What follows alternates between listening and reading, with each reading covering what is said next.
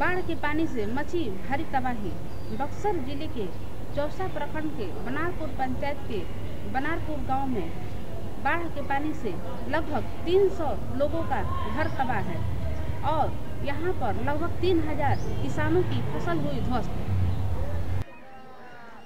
यहाँ गाँव में रह का समस्या बा? समझ ये बा मैं बाढ़ गली गली आ गइल बा खैला बनैला के तकलीफ़ बा, बाहर भीतर के तकलीफ़ बा।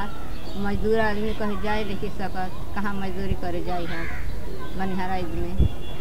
जी और का दिक्कत बा स्कूल में पानी चल बा आंगनबाड़ी में अपना दुआर पर लेखन के पढ़ाओ करे खाना पीना कैसे आई? अमरूद के हमर चार चार सौ गाछी लगौले बानी हमर अमरूद में पानी चल फरल रहल अमरूद खूब लइका कुल ना भिड़ा भिड़ा तोड़ लेलहुँ से आ वही ला हमनी के जिए खाए के कैसे जेल जी खाई जाई बाथरूम के व्यवस्था बा ना नाई के व्यवस्था बा ना खेती बाड़ी बा त इतना मैं सब डूब गइल बा बहुत हमनी परेशानी कहाँ जाए जा हमनी के बताई पानी में हमनी के डूब रहल बनी जा। सब लोग सड़की पर बच्चा ले ले घूम रहा है ढाका लग जाए जा तो बच्चा हमारा मर जाएगा समस्या में है कि कुल दाल चाउर सब कपड़ा सपड़ा सब बह गई कैसे बह गइल बाढ़ से। और रोड पर भैंस लेकर चल गई लाख रुपया के बह गई।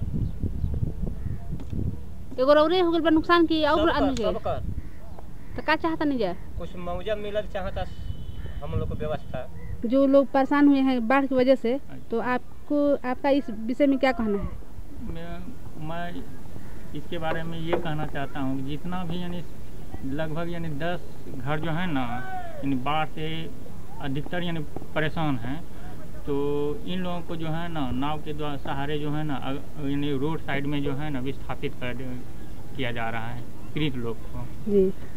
आ, उसके बाद सहायता मुहैया के लिए जो है डीएम से यानी जो है ना आदेश यानी मिला है कि राहत कोष जो है ना ये यानी दो चार दिन में यानी होगा तो यानी वितरण कर दिया जाएगा। जी। ये मतलब उन लोगों को धनराशि जो वितरण करना है ये कितने कब से हो जाएगा? एक सप्ताह मैडम। मैं और मेरा समुदाय चाहते हैं कि इस गाँव के जितने भी लोगों, लोग हैं, उनका जो भी नुकसान हुआ है, सरकार की तरफ़ से उन्हें मुआवजा दिया जाए। वीडियो देखने वाले सभी दर्शकों से मैं अनुरोध करती हूँ कि डीएम का मोबाइल नंबर ज़ीरो इकसठ तिरासी बाईस तेईस छत्तीस पर कॉल कर मेरी मदद करें, ताकि इन सभी लोगों लोगों को मुआवजा मिल सके। मैं ममता, जिला बक्सर, बिहार, इंडिया अनहट के लिए।